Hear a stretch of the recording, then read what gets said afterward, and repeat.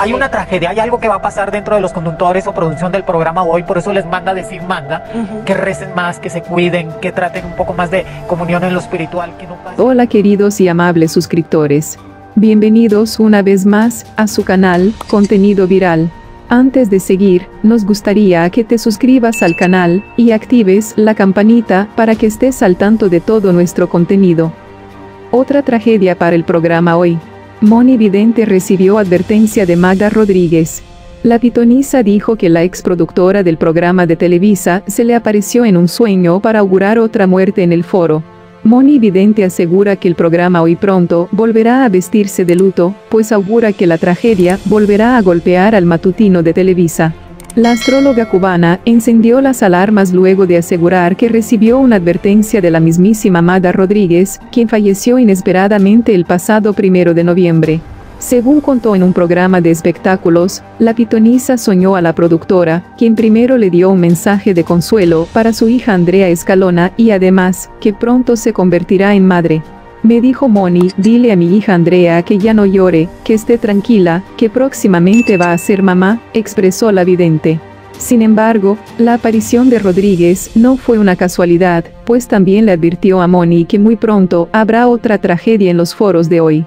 Me manda decir, dile a la gente que está en el programa hoy, conductores y producción, que se viene otra tragedia más, que traten de rezar más, que tengan más comunicación con Dios, con lo espiritual, expresó en el programa de televisión. Hasta el momento, la astróloga no tiene más información sobre en qué consistirá esta tragedia o a cuál de los miembros del programa afectará. Concluyendo con sus predicciones, Moni Vidente nos deja todo lo que le deparan los astros a los nacidos bajo el signo de Libra.